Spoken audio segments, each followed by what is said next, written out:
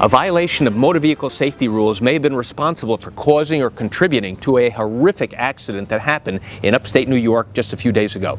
Would you like to learn what happened? Come join me as I share with you this great information. Hi, I'm Gerry Oginski. I'm a New York medical malpractice and personal injury trial attorney practicing law here in the state of New York. This is a terrible tragedy.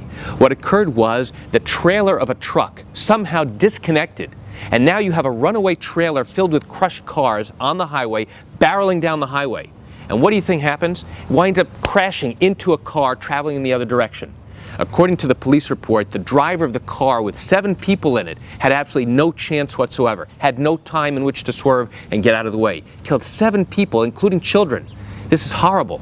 But more importantly, the question is, how is it possible that a trailer can disconnect from a truck unless there's some type of violation of the standard of care, violation of motor safety rules that truckers are supposed to know and supposed to take steps to prevent from happening? You know, motor vehicle safety rules are designed for one purpose, to protect people who drive on the roadways. If a motorist violates those safety rules, in all likelihood, they're going to be held accountable and responsible for the injuries and harms that they have caused.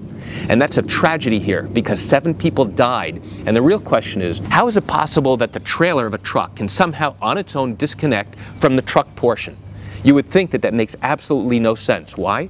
Because if the truck driver, when going to pick up his load, by the way, this is a load of crushed cars, when going to pick up the load, they have to make sure that the truck is secured properly to the trailer in order to pull away and go ahead and start delivering your load.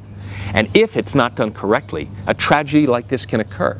So when an investigation is done, we always look to see if there were any violations of the motor vehicle safety rules that truckers are supposed to be aware of and to follow to the letter in order to prevent tragedies just like this. So why do I share this information with you? I share it with you because you probably have questions or concerns about your own car accident. And if your matter happened here in the state of New York and you do have legal questions, what I encourage you to do is pick up the phone and call me. I can answer your legal questions. This is something I do every single day and I welcome your call. You can reach me at 516 487 8207. You can reach me by email at gerry, G-E-R-R-Y, at oginski-law.com. Well, that's it for today's quick video. I'm Gerry Oginski coming to you from New York. Have a wonderful day.